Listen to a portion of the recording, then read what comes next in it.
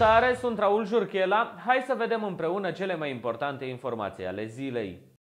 Astăzi vezi imagini din jurul stadionului Dan Păltinișanu. Doi cai au ieșit acolo la plimbare pe noua pistă amenajată în jurul arenei.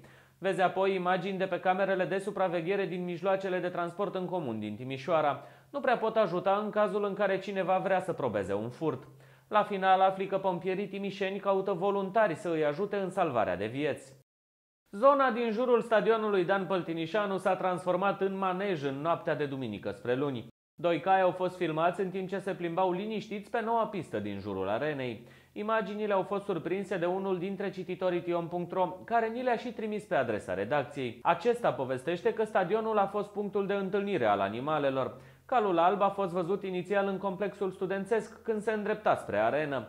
Cele două animale s-au întâlnit în fața stadionului și au plecat împreună la plimbare în zonă. Imaginile au fost surprinse în noaptea de duminică spre luni în jurul orei 1. Unele mijloace de transport în comun din Timișoara au montate camere de supraveghere. Teoretic, cei care au fost prădați de hoți pot să le ceară de la RATT, iar polițiștii să le folosească pentru prinderea răufăcătorilor. Calitatea imaginilor lasă însă de dorit, sunt sacadate, iar rezoluția nu este una strălucită. Imaginile cu pricina au fost surprinse în mijloacele de transport achiziționate în timpul celeilalte administrații. Pe tion.ro ai însă toată povestea.